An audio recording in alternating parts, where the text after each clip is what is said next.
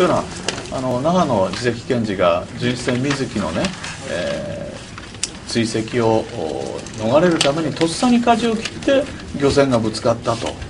いうふうにこう言ってるんですけどもあらとっさに舵を切ってぶつかったんじゃなくて意図的にぶつかってきたっていうのはあのビデオを見る限り国民の皆さんが、ね、分かってしまった。すなわちその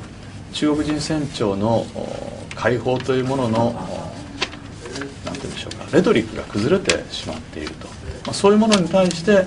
片や参議院民主党は全部明らかにして真実を国民に中国の方々にも知らしむべし。しかし参議院ではない衆議院今議論をしている方はあレトリックをですねその戦国長官が中心になって作られたと思うんですけれども。不信任案なんですがあの戦国さんと馬淵さんだけなのか他の閣僚の人は考えてらっしゃらないのかあとは中井さんのですね中委員長の解任決議案というのは検討されているのか。あのその点については先ほどもお話をさせていただきました通りこのビデオの公開非公開をめぐって、えー、レトリックがですね崩壊してるんですねそこのところを総括しすぎて正していってそれに対してどういう答えがあるかそういうものを見極めた上で出す出さないも含めて